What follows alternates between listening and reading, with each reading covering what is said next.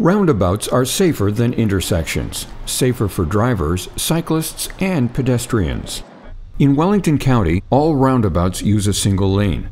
This makes it safer for pedestrians since they are required to cross only one direction at a time, shorter distances, and the speed of the vehicles are slower.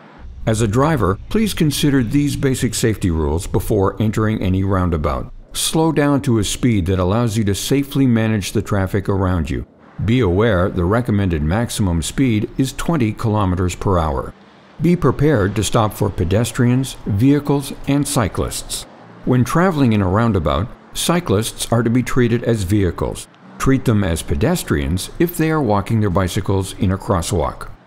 Always signal your intentions, anticipate pedestrians, and be prepared for them not to pay attention.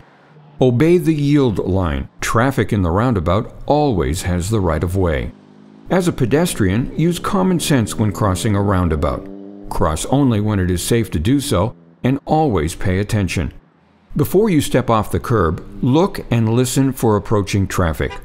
Don't assume that turning drivers or cyclists will signal their intent to exit or stop upon seeing you. It is best to make eye contact with the driver if at all possible.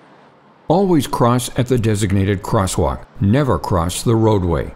Once it is safe to do so, cross to the splitter island. Once in the splitter island, look in all directions, including behind you, and then proceed to the other side of the road. Again, only when it is safe to do so. For pedestrians and motorists alike, Please remember that not all roundabouts are built equally. Signage, lane markings, sight lines, and size vary depending on the location and community need.